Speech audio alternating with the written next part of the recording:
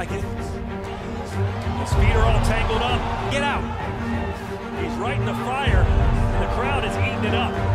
Look at how smooth Ramirez is. Now Ramirez coming in with that check right hand.